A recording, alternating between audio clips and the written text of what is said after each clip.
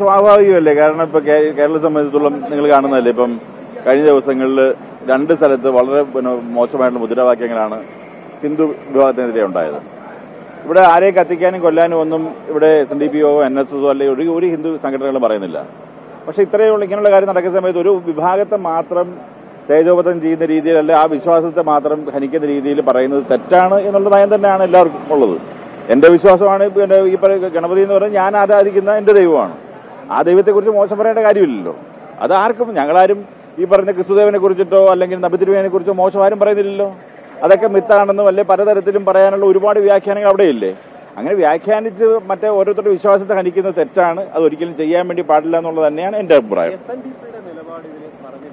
അതിന് പറയേണ്ട കാര്യം ഞാൻ വളരെ വ്യക്തമായി പറയാം. കാര്യം എന്നും എസ് എൻ ഡി പി യോഗം ഹിന്ദു വിഭാഗത്തിന്റെ കൂടെ തന്നെയാണല്ലോ. ഈ വിഭാഗത്തിൽ ഒരു ദൈവങ്ങളെയും ഹനിക്കുന്നത് അല്ലെങ്കിൽ ഞങ്ങളുടെ വികാരങ്ങളെ അതിനെ മോശമാക്കുന്ന രീതിയിൽ പ്രവർത്തിക്കുന്നത് അത് ഞങ്ങൾ എതിരാണ്. ഈ സമരാഹ്വാനമാണ് എൻ എസ് എസ് നടത്തി അത് എൻ എസ് എസ് പറയുന്ന കാര്യങ്ങൾ അത് അവരുടെ വിഭാഗത്തിലുള്ള ആളുകൾ കൃത്യമായി ചെയ്യുന്നുണ്ടാവും. അത് അവരുടെ പ്രശ്നമാണ്. ഇത്തരം സമരങ്ങൾക്ക്